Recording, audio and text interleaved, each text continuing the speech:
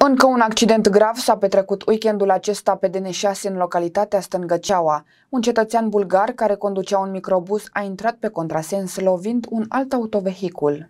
Trei echipaje de pompieri din cadrul stației Strehaia au intervenit cu două autospeciale de stingere pentru descarcerare și o ambulanță zmurt la un accident rutier produs pe DN6 în localitatea Stângăceaua. Două persoane se aflau blocate în interiorul autovehiculelor implicate. Pompierii militare au acționat de urgență pentru extragerea victimelor, acestea fiind predate în stare de conștiință echipajelor medicale Zmurd și Saj. Un cetățean bulgar în timp ce conducea un microbus pe DN6 în localitatea Stângăceaua a pătruns pe contrasens și a intrat în coliziune cu un alt autovehicul condus de un bărbat de 47 de ani.